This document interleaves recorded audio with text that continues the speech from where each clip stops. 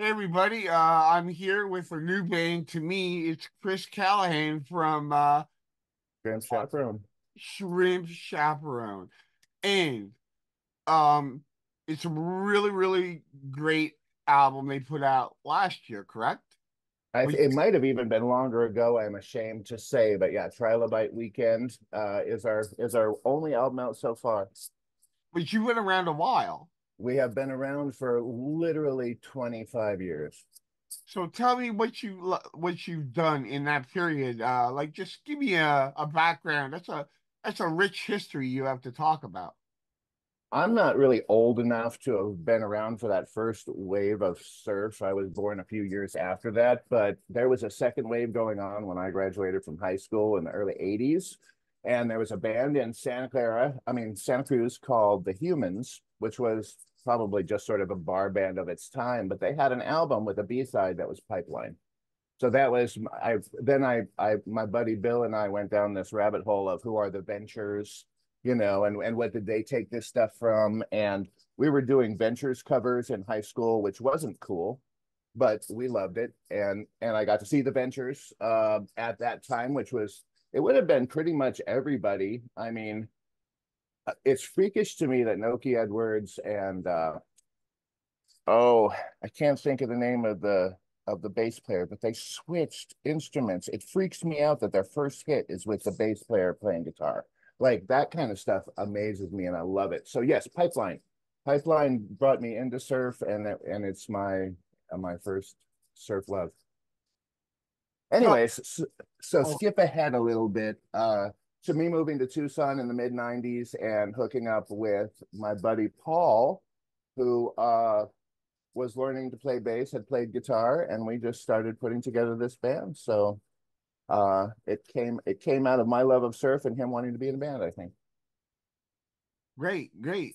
So uh when you started, you, you say 25 years ago. So that was kind of like in the middle of the the third wave, correct? Yep, absolutely. And there are other bands in Tucson at the time. Big Galoot, which was sort of aging out in a way, but they were doing shows kind of like we do now, where they're kind of coming out of retirement sometimes to do stuff, or you know, people forget who they are. But they actually are still around in a different form, but they've been around. They were around decades before we were around here, and they were they had been together in uh in high school, and now they do the Determined Luddites, which is a folk outfit but um, but they can still whip out that surf stuff. And the picture behind me, one of the guys in Big Galoot uh, is a piano tuner, and all of his basket cases they burn at a piano burn once a year. And we played this year, and so that behind me is our little mini uh, Burning Man of uh, pianos while we're playing. Uh, I'm assuming Miserlou when it really gets going. Dude, that's crazy. Yeah, it's fun. I never even knew something like that existed. Is that like that's a, is that specifically to Tucson? It is a desert party, and the excuse for the desert party and going out and drinking beer and whatnot is to burn those pianos and have a bonfire. So they have to let the it's way out in the desert, and they have to let the fire department know about it. So it's sanctioned, and uh, and yeah, but there's no better situation. Some of the bands, and us even once or twice, have been too close to the fire, and and I know that some drum skins have been uh, bubbled at oh, the wow. piano burns. So it's it's good to be a certain amount of feet away. Yeah. Uh, I want to ask you now. Now that's one of the interesting stories I was talking about. Uh, but uh, what was it like to be? I mean, for me, when Pulp Fiction hit and that third wave came, it was like, oh man, this is like going to be a great. Like the '90s were great for music to begin with, but that was just another you know, that was just more gasoline added to the fire. There was another genre to be happy about. What was that like being a band during that time? That well, that's a very good point because not only were we trying to do our own thing, which was you know to do sort of weird, ironic covers in a surf style. We did the Go Go's, we did Thelonious Monk, we we have done uh, Lady Gaga.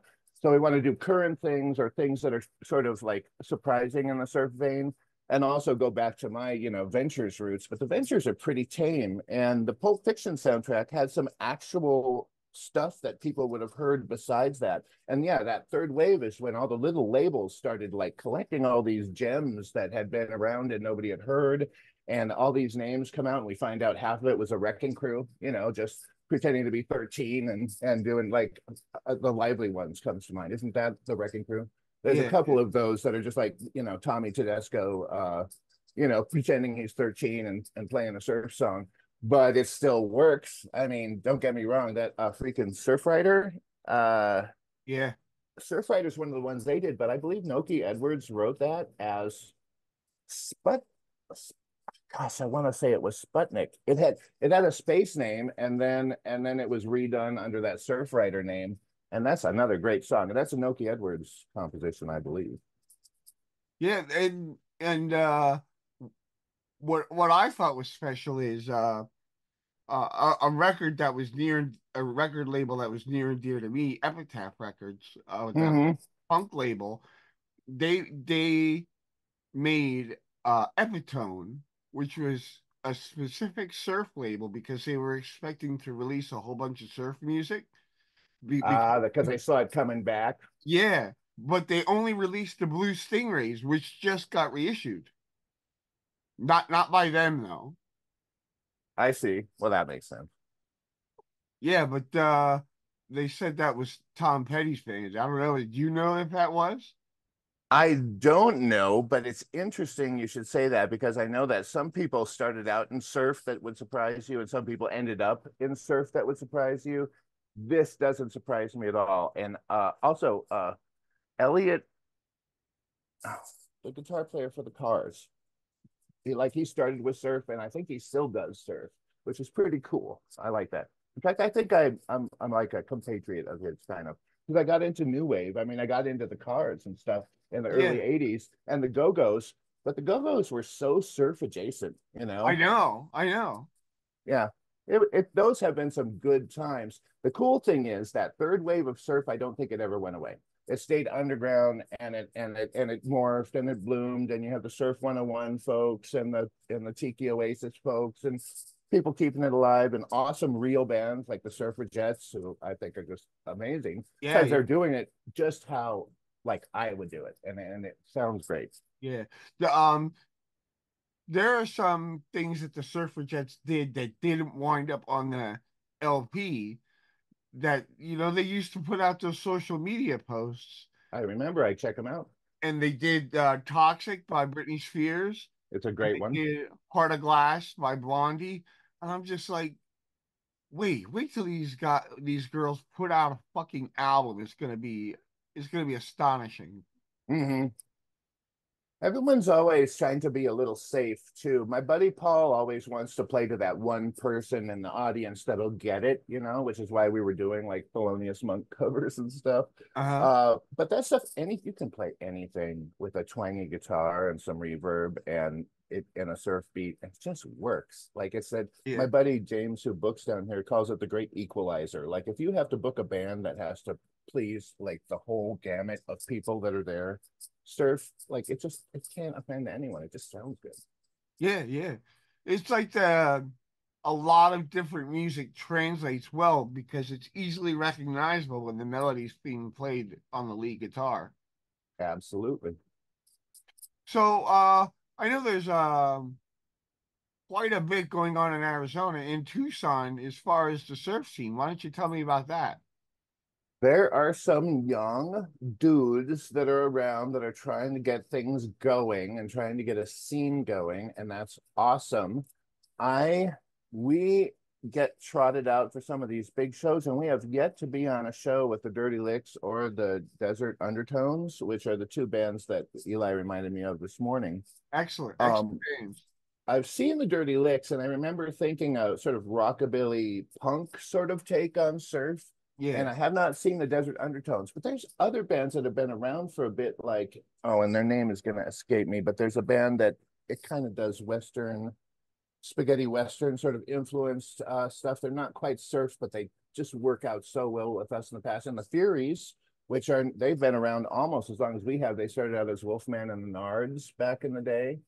And um, so, oh, and we had the Surf Broads for some time, and they ended, I believe, in October when Amy moved on to do other stuff. But they were sort of marquee act in Tucson because they, you know, they put on a show and they would do fun yeah. metal covers and stuff like that. So it was it was cool. It's not it wasn't pure surf, but what we aren't either. So. But, oh, and Surfside Four up in Phoenix, and they trot themselves out every once in a while. I don't think Phoenix has a super thriving scene, but Surfside Four are, you know, they'll put together a show now and then, and we'll go up. And we've played with the Furies and Wolfman and the Nards and us and some other bands up in Phoenix from time to time. But yes, we haven't put together a big surf show yet. And I know the Desert Undertones, we're trying to put something together down here. And we have Surfapalooza coming up again in August, either August 3rd or August 10th at Club Congress. Once a year, they put together like a, a surf show and have fish tacos and drink specials. And, uh, you know, sometimes they'll have a jumping castle or a pool. They had a pool set up last year, and it'll just be surf. And it was us and the Furies and and an unfortunate cover band doing Beach Boys and Jan and Dean covers. Oh boy. Yeah, it's pretty uh, cool. Have you heard She-Verb? She-Verb, I have not heard. Where are they? Um, I thought they were around your area. I could. Oh no, then I suck. They're definitely Southwest. It's an all-girl band, uh, kind of spaghetti western. Oh, that's awesome. Yeah, they're great. She-Verb, they're really good. I have not heard that name, but I will absolutely check it. And I I'm just not as plugged in with the young surf bands in town as I should be. And um, Eli's been trying to hook that up for us. So one of these days we got to get out and do. If we could get them involved in Surfer Surfapalooza is what I'm thinking. So maybe I'll try to make that a a campaign. Is that is that something that that you're heavily involved with? Well, uh, David Slutes, who has booked at Congress for decades, is leaving on Saturday, I think is his last day there, but he's the one that's always put this together. And so he sent out the email yesterday. So I don't know that he's actually going to be managing it, but there's a gentleman over there named Curtis who uh, runs all the band stuff now. And so he'll be putting that together. And so we need to get in his ear about who to book this year because it would be cool to make it a real surf festival and everyone's going to like it. Oh, I know. Who was it? Oh my God, I can't think of their name. It's going to drive me crazy. But there's another band that was around, a real punky surf band. The whole time we were, oh my gosh, I can't remember their name, but they just seem like little kids. They're like 45 now, but they still seem like little kids and they just like rock it out with like a Ibanez to a Marshall, but it's surf. And it's yeah. very cool. I can't think of the name. Oh, I suck. Anyway, yes, we have a thriving scene. I don't know any of their names. That's I think it's the problem now. Well, what I want to uh, tell our viewers is there's going to be links to uh, uh, Shrimp Chaperone's social media, their Bandcamp page where you can go sample their their album, which is excellent. Thank and uh, look them up in Tucson, Arizona. And uh, I want one last time to remind uh, our viewers uh, Surfapalooza one more time, please. Yes, Surfapalooza Club Congress. It's either going to be on the 3rd or the 10th of August this year, and it's all surf music and surf style fun, and the Tiki Oasis type folks enjoy it. So if you like that, you'll like this. Great. Is there anything you'd like to add that I may not have asked about, or ask me something, or anything? Um. Well, uh, I do not know much about Pi Records. Are you a surf label? Uh, well, we started off that way, and uh, I'm a, I'm a huge fan of Down by Law, which is a punk band.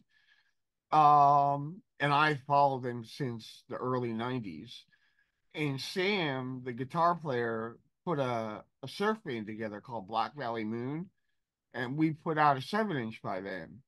Oh, and oh, that's awesome. I, yeah, I, I quickly found out I'm a terrible record label um, but I'm oh I'm okay asking questions about music, and I, you know, I found out the surf music scene was was huge.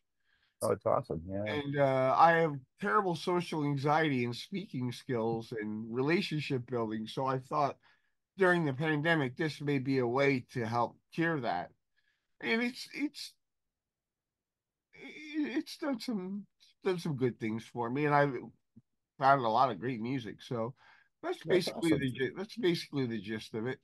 Well, I love that. You're doing a fine job, I'd say. Well, thanks so much.